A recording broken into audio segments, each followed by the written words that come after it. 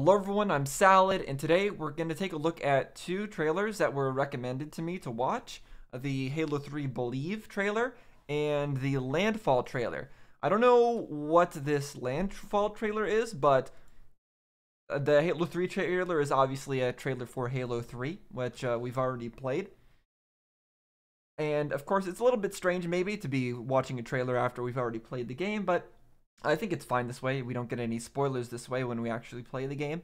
Uh, these are supposed to be really interesting.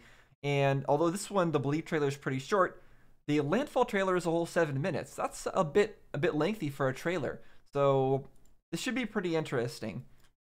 So we're gonna start with the um, the Believe trailer. I don't know if there's a recommended order to be watching these in, but I'm sure it doesn't matter too much. Uh, these are both, I believe, from content I've already seen. So let's just start this and see what this is all about.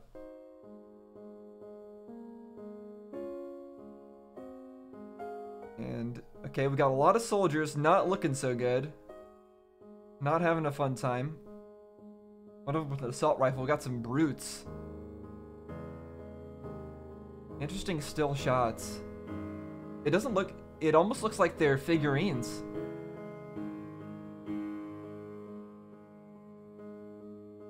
Yeah, it's like they're toy soldiers. All just frozen in time. That might actually be what, what this is and how this was filmed. Very cool, very detailed. How'd that guy get stuck in the ground?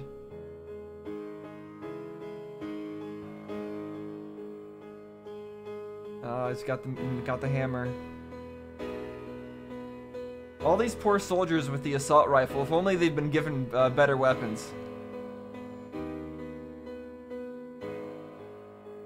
Uh, got jackals too. And grunts. Oh! The Master Chief? Somebody killed him?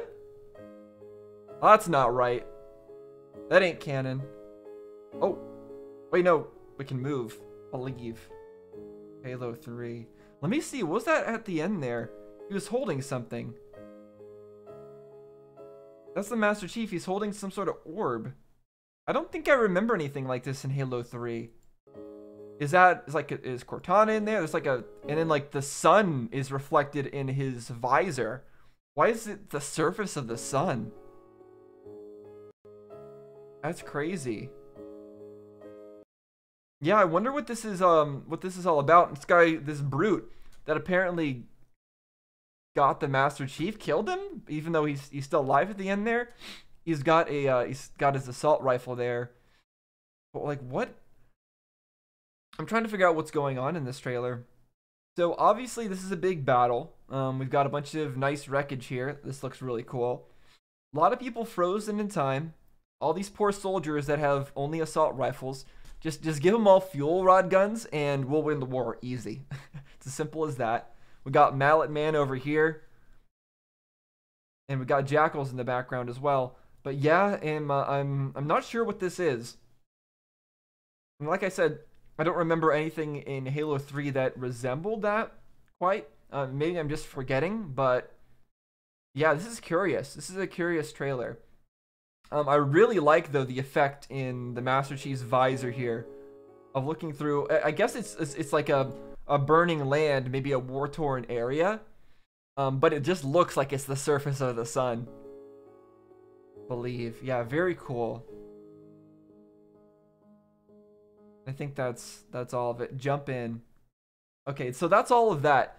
I don't know if I have too much more to say about this trailer. I like like I said, it's really cool, and I like that it's um has a very unique style where everybody's everybody's frozen in place, and they all look like they are like the figurines. So I I'm wondering if this was like an actual scale model that they made and then filmed around. I feel like that's what's going on here. And the the brutes look extra fearsome in this. Yeah, and I don't know why why it shows the Master Chief being killed like this or or taken prisoner or whatever it is that's going on here. Um, because at the end of Halo 3, it, nothing like that happened. What happened was that uh, the Master Chief was now adrift in space. Uh, although I guess um, I guess people thought that the Master Chief died because he went he, the Master Chief went missing. Uh, half of the ship with the Arbiter in it did indeed make it back to the Earth, but Master Chief's half did not, and we still don't know where he went and what happened to him. I haven't started Halo 4 yet. Um, there, I'm sure we'll figure out. Um, obviously, uh, I should have said this at the beginning. No spoilers for anything that I haven't played yet.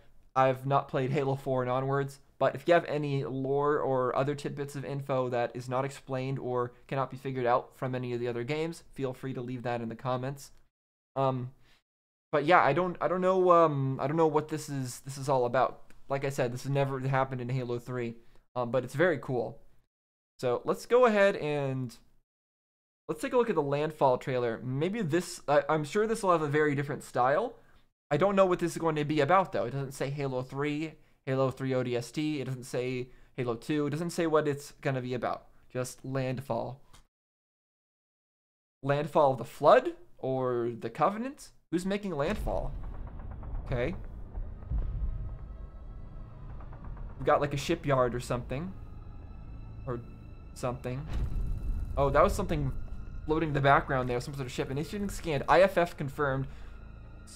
Uh, Sun Defense Group that readiness levels critical. How can readiness levels be critical? Request immediate. Okay, I need to I need I need to stop and, and rewatch that. I'm not reading fast enough. I need to read faster. Let me just read this silently in my uh, in my own head so I can read it fast enough. But yeah, it's a cool ship in the background there.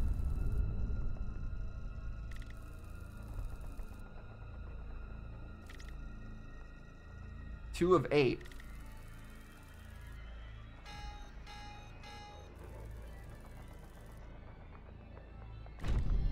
Okay. So they're getting rearmed, and there's two of eight vessels? Nice effect there. Ship going past the sun like that. Oh, they're forging something?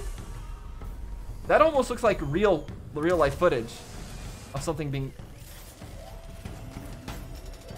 Oh, what is going on here? A lot of new helmets. Some new buggies they're working on. Getting all the soldiers ready for battle. Ooh. What are you injecting it in there? There's a pelican.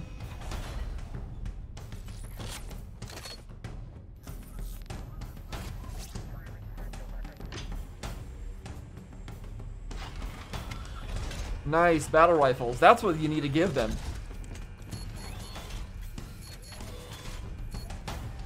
A lot of pistols. Warthogs coming off the assembly line.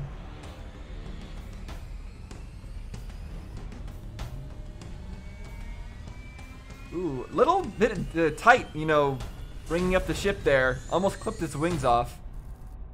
Halo 3. Finish the fight.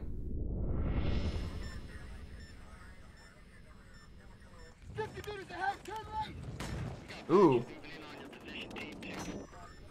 Very realistic style we got going here.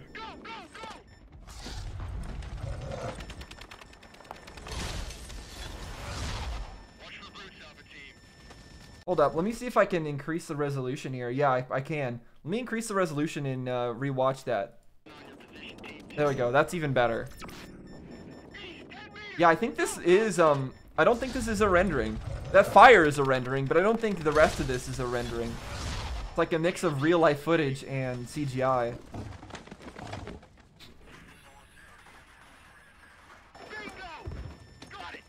What did he get? Rocket launcher? Oh, Somebody firing a needler? Or no, it's those weapons, right. I forgot those also do that.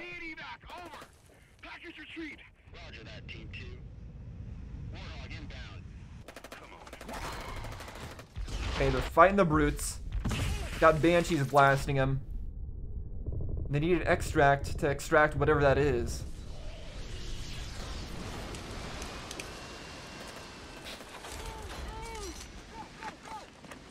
Okay, so it's not even picking them up. They're just giving them a giving them a vehicle and saying, "Make your own way out of here."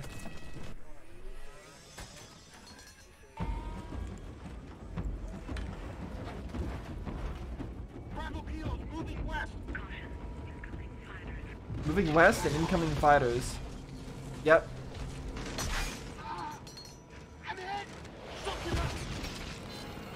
Yeah. Jeez. Transmission terminated. Oh, okay. I was gonna pause there since it seemed like a good point, but it's not.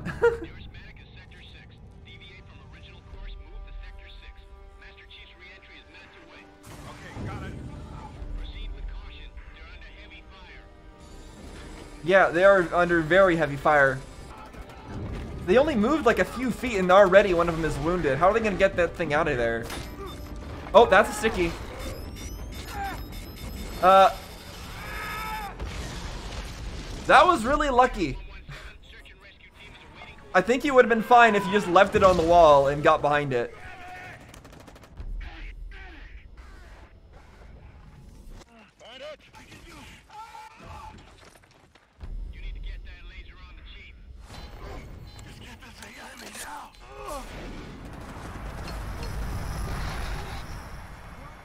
Yikes. Yeah.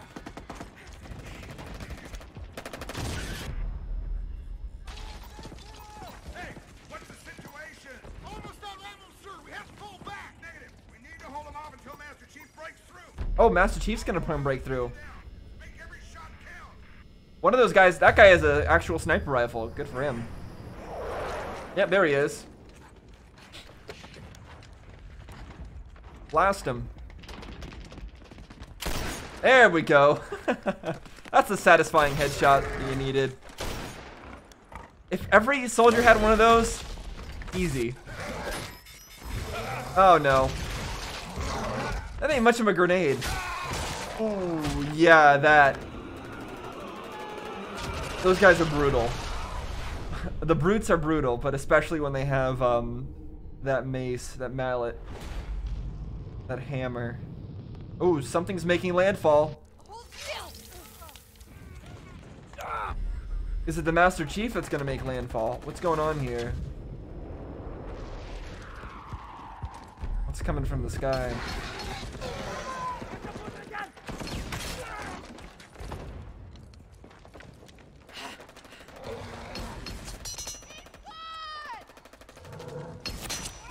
Yikes.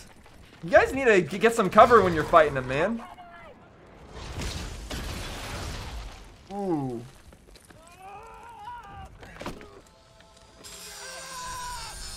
Yikes. What is he? Char oh, it's um. Target acquired. I don't know what that weapon's called, but it's the one that charges up and fires like a beam, right?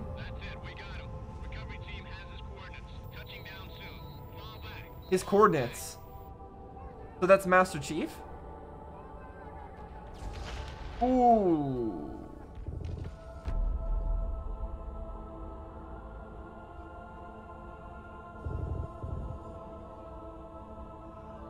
Alright, well they got them off of the wall. Okay, that's a rocket launcher for sure. Yep, there you go. There you go. Yeah, the brutes aren't doing a good job of utilizing cover either. Three. Is that it? That is it. That's the end. Um, very action-packed trailer that we got this time. A lot of shaky cam, um, and I must say I, I really don't like shaky cam as a style. But I think for for here, obviously it's war. It makes it makes sense that there's um a lot of screen shake, so that's reasonable. I don't know what it is that they were trying to extract with here. Um, they there was some sort of item on the ground. Well, first, first we saw this, the preparation of everybody getting ready for whatever this was. Um, but then these guys who were in this buggy, they had this uh, briefcase or whatever it was. Let me see if I can get another uh, another image of it. Let's see, where was it? There. Yeah, we have the package. So like this thing, what is this thing? what were they trying to grab? Because they were also waiting for Master Chief. They said they were waiting for Master Chief to break through. Um, so I don't know what part of Halo 3 this was. I feel like this one, though, um, it relates. It seems to to feel more familiar and relate more directly to the events of Halo 3 than that previous trailer did. Where, um, because at least this stuff I can imagine this happening. Uh, the other trailer I cannot imagine. I, I don't I don't know when when that would have happened where we would get grabbed by a, a brute like that and he stole our weapon. Um, but this makes a lot of sense. I just don't know what it is uh, precisely that they're um, trying to extract with here. But uh, if they're just trying to extract with that, then they really should have just um, gotten on this pelican and, and flew not flew off uh, flew off and gotten out of this place. But it seems like there's another objective other than that.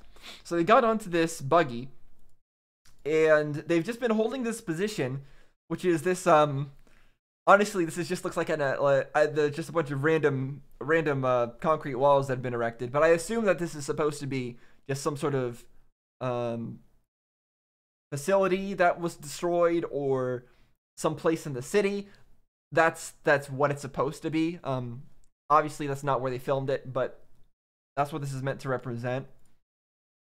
Everybody's uh, and then everybody keeps getting stabbed by these things and I think that's from their uh, I forget what their their weapon is called, uh, but it's it does things similar to the needler. The needler actual it fires actual needles that that home in and explode. Um, but their automatic weapons that the brutes use they're a little bit different, but they also have like little spines that pop out from enemies. I, rem- I recall from using it in game. Um, so that's a cool detail that everybody just keeps getting impaled by these things. It's very brutal. Some of them have to get like sawed off so that they can actually escape from the wall that they've pinned on, been pinned onto. Really brutal. It kind of reminds me of the um, the crossbow from Half Life Two. Um, if you've played that game, um, if you haven't, you should. But if you ha- if you've played that game, it, you you can fire the crossbow at, at an enemy. It'll pin them up against a wall with like a what looks like a piece of rebar. and uh, it's it's pretty great. And uh, of course, the Halo one doesn't do that in game, but that's what it's doing in these trailers. Um, it's quite intense. And then we've just got a lot of death and destruction happening with um, both the humans and the brutes. None of them using cover very effectively. A lot of grenades being thrown that hit walls. And then people seem to think that they need to grab the grenade off the wall and then throw it. No, just leave it there. Just leave the grenade. It's fine if the wall gets destroyed. Don't don't risk your life for a wall. Um, and there's other parts where, of course, it explodes right next to somebody. It doesn't doesn't do much. Um, so that was kind of funny. Um, but I'm glad all these people have um, have battle rifles instead of the assault rifles that we saw in the previous trailer. Much better weapons. Please, please just give give all these guys better weapons. They deserve it. They're all, I mean, they're all gonna die instantly anyways uh, in game. But at least at least give them a good weapon to go go down with a bang with. That's what I say. And then this guy, what was this weapon he was using? It was he just uh was he just tracking it? Was this not a weapon? Like I'm not sure what this is. Yeah, this this that was that was like insane. Target acquired. But there's like that charge up sound. He says target acquired as if he's charging up that railgun style weapon, the one that charges up like this with a little circle and then it fires a blast. that does a ton of damage. It seems like that might be what that is, but it doesn't look the same. And uh, he only and he doesn't fire with it. He only uses it to track where something is making landfall. Maybe I'm just I'm I'm so uh, I, I I've already played Halo 3 ODST, so the exact events of Halo 3 are a little bit fuzzier in my mind than, than they perhaps should be when watching this trailer. So I don't remember what exactly would be making landfall at this time. Um, actually, hold on. At the very beginning of Halo 3, didn't we make landfall in that type of way? Um, if I recall, at the very beginning of Halo 3, we dropped in uh, like a meteor onto the ground, and I remember somebody gave us some crap about like eventually that's gonna not work for you. you shouldn't be trusting your armor to go into lockup mode and actually let you survive falls like that. Not a smart idea. Somebody, some character told us that. Um, it, it might have been that guy, that the guy that died in uh, in Halo Three. Um, but somebody told us that. So I think that's what this is referring to. This is probably the events at the very beginning of Halo 3 before any of that even started. I think I have that right. Um, so I think, uh, yeah, I think that's it. I'm just gonna like both of these videos. You too should also go and like my videos and subscribe. I'm an extremely small channel, so if you enjoy all my content, please, uh, please do all those things. Um, but yeah, I think that's. Uh, I don't know if I have too much more to say. Those are very cool trailers. I liked how they had very different styles. This one was more of a um, a diorama, or is that what you call it? It was a uh, just a set that you was zooming around, giving a. It, it was very detailed, give us a very nice view on everything, um, and it it trolled a quite an intense intense view of the battle, and so did this one. Um, but this one obviously was much more um, much more animated. I especially like this part. I could I could rewatch that part like I could I could keep rewatching this part because this part is just so great. Listen to this nice sound effect. That's awesome. and then another one. Yeah.